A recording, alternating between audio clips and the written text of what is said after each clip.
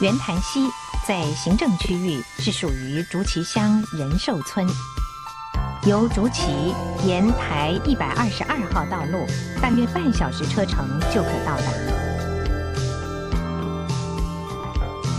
来到圆潭溪，一定会被溪谷两侧所露出的岩层所吸引。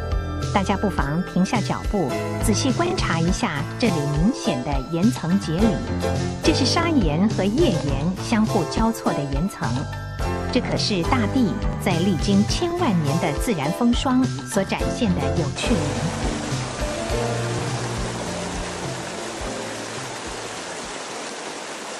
瀑布是圆潭溪最具魅力的自然景观。由于溪水切割河床的力量相当旺盛，使得圆潭溪的溪谷变得非常险峻。在这里，到处都可以看到垂直高耸的峭壁、奇特的湖穴地形以及连续分布的瀑布群。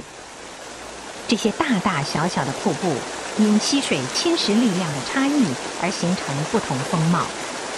圆潭溪因此成为一处景色俏丽、生态丰富的景观区。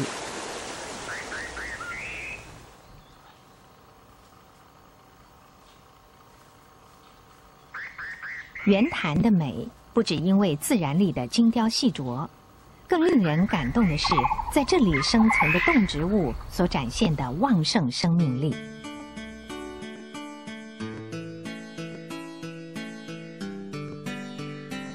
潮湿的气候和适宜的温度，使得圆潭溪两侧的植物生长相当茂盛。除了许多巨大的阔叶树之外，还可以发现山茶、墨点樱桃等其他山区不容易看到的稀有树种。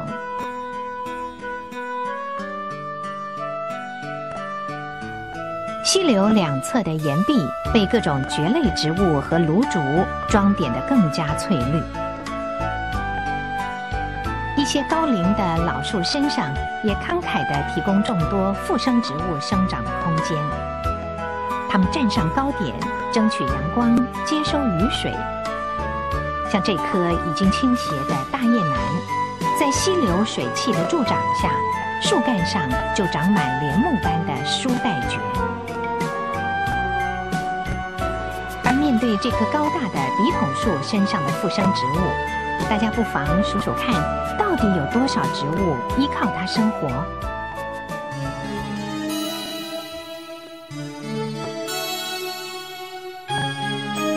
水是孕育生命的主要条件。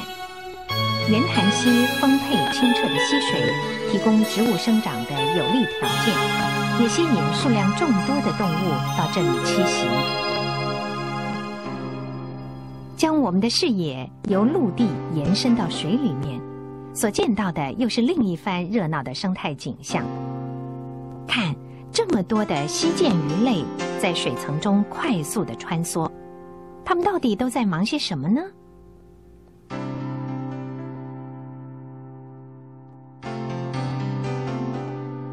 原来是在啃食石头上的藻类。有些鱼群则是在抢食水层中飘过的食物。这种吻部圆圆的鱼类是俗称苦花的台湾产汉鱼，它是圆潭溪数量最多的鱼类家族，喜欢成群的啃食石头上的藻类，有时候还不时翻转身体，在阳光的照射下呈现一闪一闪的体侧亮光。有人还戏称它是白天的萤火虫。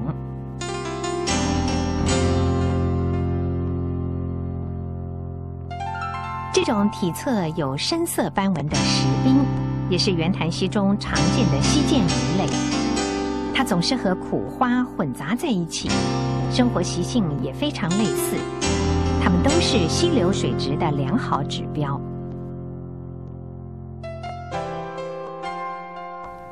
这片水流比较和缓的水域，正是台湾特有种鱼类台湾马口鱼悠游的地方。由于它们体侧有一条黑色纵带，因此又被戏称为“一枝花”。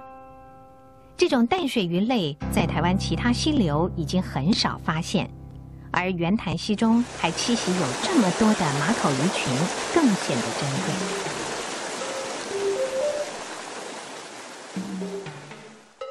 水面的石头上，动作敏捷的千色水东正在表演招牌的展尾动作。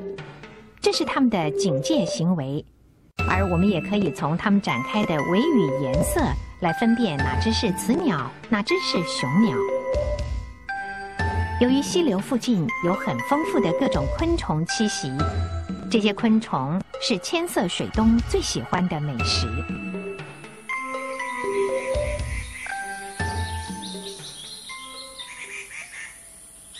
溪流两侧的森林。成群的红嘴黑背正以不太高明的歌声来宣示自己的领域。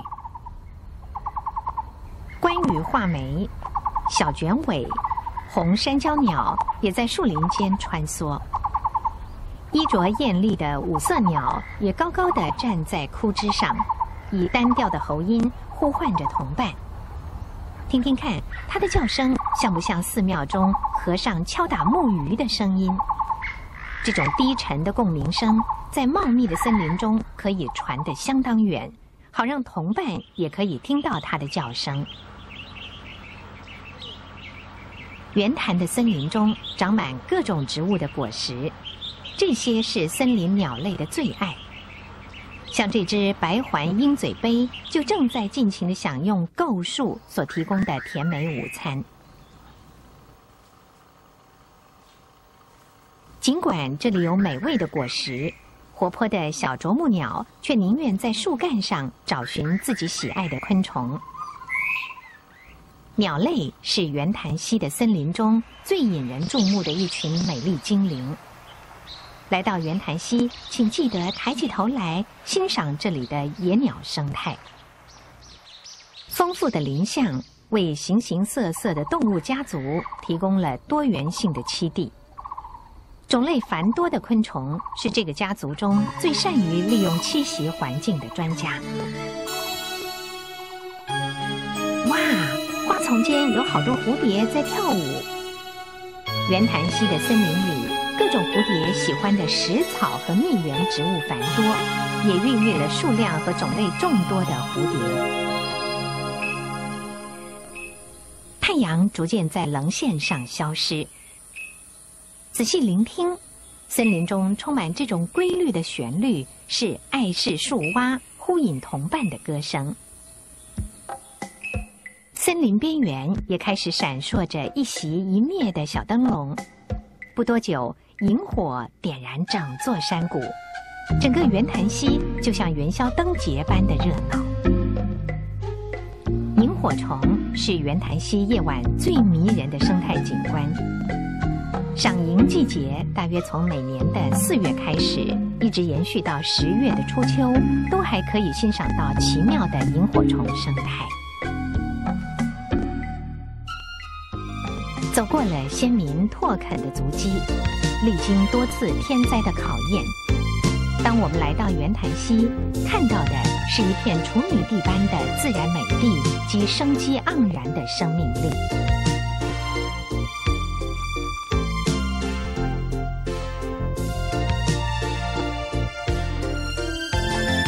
近年来观光局更投注心力和经费，结合当地居民和生态旅游专家的智慧和努力，以最自然的生态工法，将圆潭溪及附近自然景点规划为生态游憩区，并设有游客服务中心，提供游客充足的生态旅游资讯。